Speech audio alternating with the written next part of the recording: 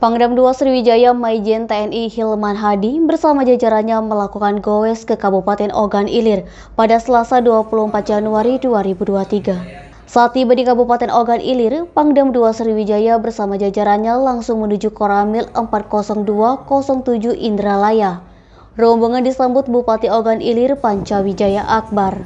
Setelah bercengkrama bersama Bupati Ogan Ilir dan jajaran, Pangdam 2 Sriwijaya bersama rombongan lalu melanjutkan kunjungan ke PT Arwana Citra Mulia Plan 4 di Jalan Lintas Indralaya Prabu Muli, Desa Tanjung Pering, Kecamatan Indralaya Utara.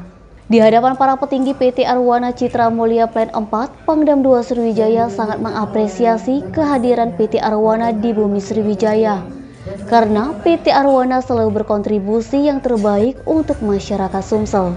Menurutnya, apa yang menjadi visi dari PT Arwana sejalan dengan visi di TNI, yakni berkontribusi terhadap masyarakat. Menurut Pangdam 2 Sriwijaya, selama bekerja sama dengan Kodam 2 Sriwijaya, PT Arwana sudah banyak membantu masyarakat Sumsel lewat program Corporate Social Responsibility. Terpisah, Wakil Bupati Oganilir Ardani yang turut hadir pada kunjungan Pangdam 2 Sriwijaya ke PT Arwana ini mengungkapkan kehadiran PT Arwana di Kabupaten Ogan Ilir ini sangat luar biasa. Diakuinya PT Arwana sudah berkontribusi sangat besar untuk Ogan Ilir. Kepada Pangdam, mereka meminta arahan serta bimbingannya supaya Ogan Ilir lebih maju. Terlebih Pangdam merupakan putra asli Ogan Ilir.